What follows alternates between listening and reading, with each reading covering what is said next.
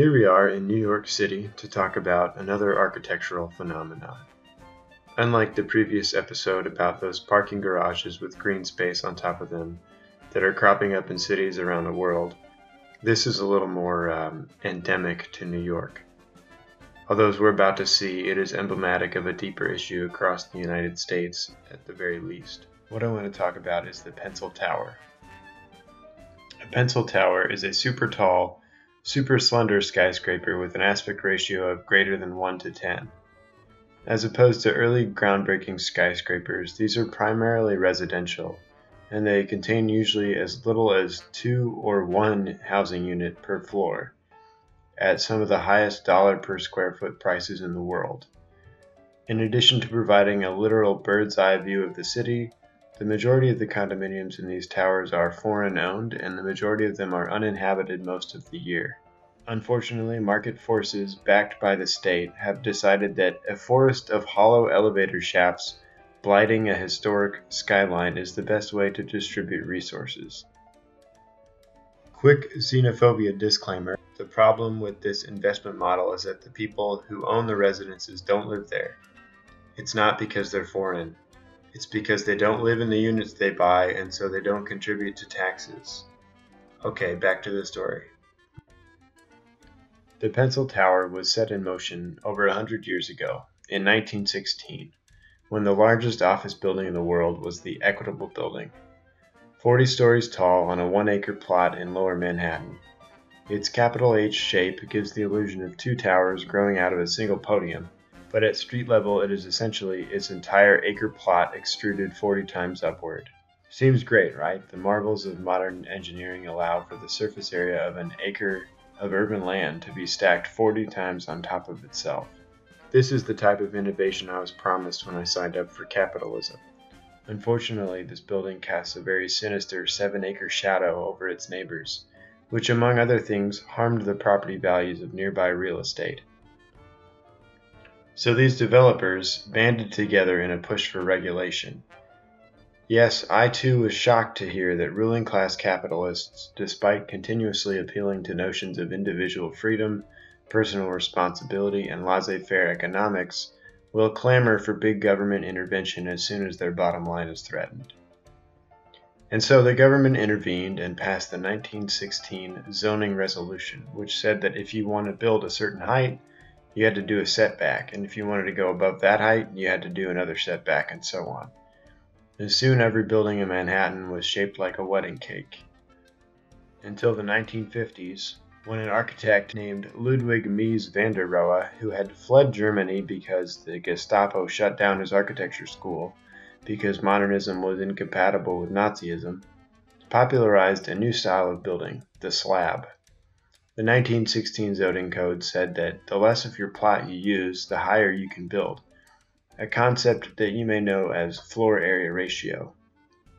I'm not sure why it took 30 years for developers to take advantage of this, but the 1951 Lever House and the 1958 Seagram building led to a new zoning resolution in 1961 which added height bonuses for adding public spaces.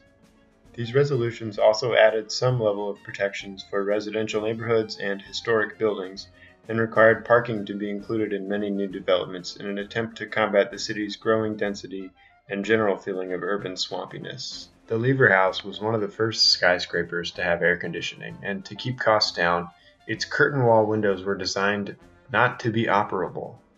The building is a hermetically sealed work environment where you can pack workers into every square inch of the floor plan because they would no longer overheat if they strayed too far from a window. The Seagram building's symmetrical layout of columns and transparent windows communicates very clearly what type of activity is going on inside and how exactly it is partitioned up. Which is funny because Seagram is a liquor company that came to prominence during Prohibition. This building looks black, but its outer frame is cast in bronze. It's got 60 years of patina on it, so it's seasoned like a nice cast iron griddle. And soon everything in Manhattan from then on was shaped roughly like the thing from 2001 with a privately owned park next to it or inside of it, including the early 80s Trump Tower with some very hidden, nominally public gardens where you can go and get accosted by the Secret Service for free. Now, because capitalism is always craving new markets, a growing class of global elite has created demand for $250 million penthouses a mile above the street that they can visit a few times a year when they're bored with their main house in Monaco. After decades of building up and up and up, developers invoked the most sinister piece of the zoning code air rights. If you don't use all your zoning envelope, like if you have a relatively short building like a museum or a church, or just another skyscraper, you can sell the remaining potential surface area to nearby lots. This secondary market, combined with advancements in engineering in the 2010s, created a surge in impossibly tall and petite towers. This is 200 Amsterdam in the Upper West Side. To achieve its 200 meter height, it gerrymandered a lot with 39 sides from neighboring properties, inaccessible parking spaces, and driveways. This is 432 Park Avenue. More than a fifth of its 425 meter height is reserved for mechanical use because mechanical spaces don't count towards floor area ratio. This is 100 East 53rd, where developers merged two plots to reach the 217 meter height, transferring over 200,000 square feet of airspace from the Seagram building itself next door. This is 157, which earned its height as a result of underwriting some affordable units in the Bronx at a production cost of five times what it takes to actually build an affordable housing unit, producing 66 units instead of 370. It received a $65 million tax break to do this. This is Steinway Tower. It will be 400. Oh, hold up, I like this part.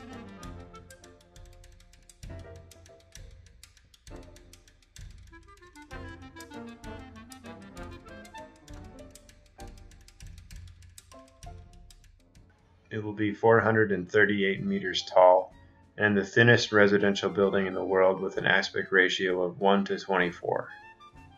Its developers contributed $9 million to the Affordable Housing Fund in exchange for a bonus of 20,000 square feet. Its condos are expected to sell at 20 to 60 million dollars each. And this is Central Park Tower, which is about to be the tallest residential building in the world. It snagged 90,000 square feet, or nearly 10% of its total square footage, by purchasing an affordable housing scheme from another development group. I couldn't track down exactly what that scheme was, but hey, maybe this is the one time it'll serve the interest of the public good. These towers are built on loopholes. The air rights market is lucrative, its public records are inscrutable, and there's no mechanism to trigger public review despite the impact these buildings have on the market and the environment. The bonuses granted by paying into affordable housing funds or even developing affordable housing are skewed wildly in favor of developers because New York's affordable housing program is a joke. Eligibility is based on the AMI of the entire city and surrounding wealthy suburbs, which means that affordable units often go to upper middle class families or that they don't even get built because the tax abatements they provide are not tracked, and there's nothing to stop developers from double dipping or using one project's subsidy multiple times. This is projected to cost the city almost $1.5 billion a year in revenue and put several times that much in the pockets of the already filthy rich. So it's clearly not about density, because the original zoning resolution accommodated a projected population of 55 million people in Manhattan. And it's not about free market efficiency because, as usual, the state has intervened throughout this process to protect the interests of investors and developers. To quote our friend Rem Koolhaas, beyond a certain critical mass, each structure becomes a monument, or at least raises that expectation through its size alone.